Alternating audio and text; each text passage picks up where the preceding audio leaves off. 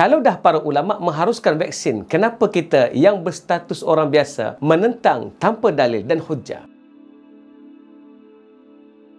Assalamualaikum. Tanpa sokongan anda dengan link di bawah, kami tidak mampu meneruskan usaha ini. Sharelah video ini demi perubahan dan join saya di Telegram Ustaz Zul.id. Terima kasih. Pihak berautoriti agama telah mengeluarkan fatwa membenarkan penggunaan vaksin. Mereka telah mengemukakan dalil keharusan, hujah perbincangan dan membahas secara ijtihadiyah. Siapakah mereka? Jom kita semak. Pertama, Universiti Al-Azhar Asy-Syarif Mesir. Syekh Al-Azhar Profesor Dr. Ahmad Taib melalui Hay'ah Kibar Ulama Al-Azhar telah menyatakan jika sekiranya penggunaan vaksin tersebut boleh menghilangkan wabak corona, ketika itu hukumnya harus. Al-Azhar meletakkan syarat perlu mendapat pandangan pakar perubatan yang berautoriti dalam hal ini. Kedua, Majlis Fatwa Kerajaan Emirat Arab Bersatu UAE kami memberi fatwa akan keharusan penggunaan vaksin COVID-19 dan kami menyeru untuk bekerjasama dengan kerajaan dalam menjayakan pelaksanaan suntikan vaksin. Ketiga, Majma' Fuqaha Asyariah Amerika menyatakan kami telah mendapat pandangan doktor Muslim yang thiqah bahawa suntikan tersebut telah melalui kajian melebihi daripada 40,000 jiwa dan tiada gejala dalam tempoh dua bulan ini sudah memadai sebagai bilangan untuk ujian berdasarkan kajian terdahulu. Justeru, menggunakan vaksin COVID-19 adalah harus atau sunat manakala kepada yang terlibat secara langsung sebagai frontliner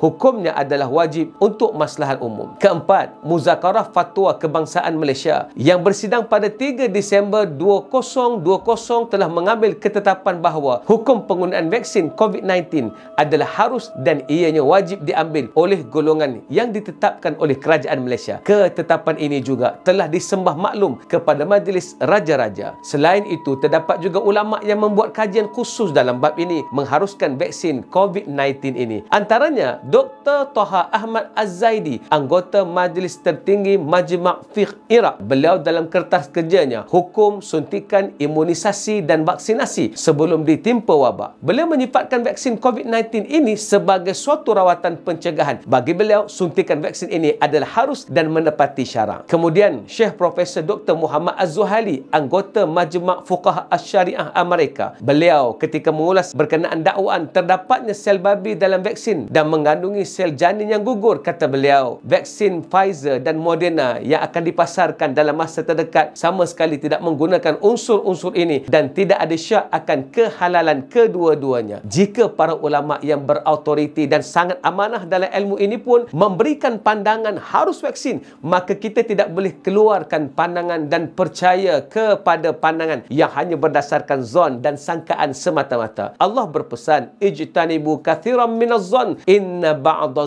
id jauhilah kebanyakan sangkaan supaya kamu tidak menyangka sangkaan yang dilarang. Al-Hujurat ayat 15 membawa pendapat tanpa hujah syarak kajian yang benar dalil yang tidak tepat maka semua itu termasuk perkara sangkaan yang dilarang oleh Allah. Ayuh transformasikan pemikiran kita supaya menerima pandangan pihak yang pakar dan jauhi pandangan yang berdasarkan sangkaan semata-mata demi melihat Islam terus kuat dan dihormati semula. Assalamualaikum